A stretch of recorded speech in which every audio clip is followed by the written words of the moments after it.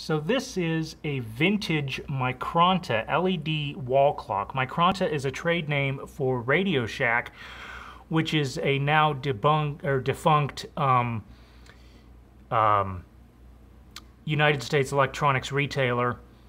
Um, for the longest time, for those of you who are partially blind or totally blind who are on my channel, you might remember they used to sell talking watches.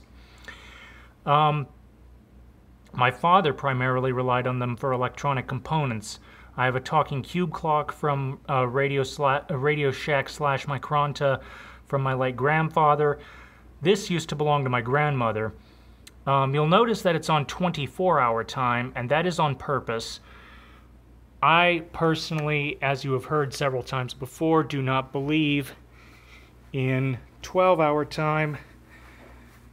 Um, I've already made the argument several times before on that. So back here, you can see, very easy to set controls. You just have hours, minutes, and then Sentinel, which I believe has to do with the battery backup, but I'm not exactly sure how that works. Um, as I said before, the clock has 12 and 24 hour format. Um, if you set it to 12, so right now it's on 12, There's a little dot here to indicate PM. But that's really it. Um, let's put this back on 24. Um, here are the instructions. There really isn't much to this. Um, I plan to take this up to my summer house and probably hang it in my bedroom or something.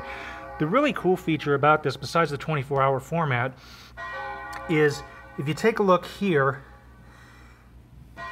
the length of my finger there, that's how much space there is between the back case and where I stick it up on the wall, which means that I can effectively reach behind and set the clock without having to take it off of the wall. And I wish all wall clocks did this because one of the things, thanks to my low vision and uh, balance issues that I've always had a problem with regarding wall clocks is getting them to I can set them, I can get them down and I can set them, but I can't get them back up there. So this is a real treat. Um, this has been in my grandma, this has been, you know, in the family for a long time. My grandmother had this probably before I was born. Um, but it was always set to, whenever she used it, it was always set to 12 hour time. She didn't believe in 24 hour time. She didn't think it existed. So, eh, life memories.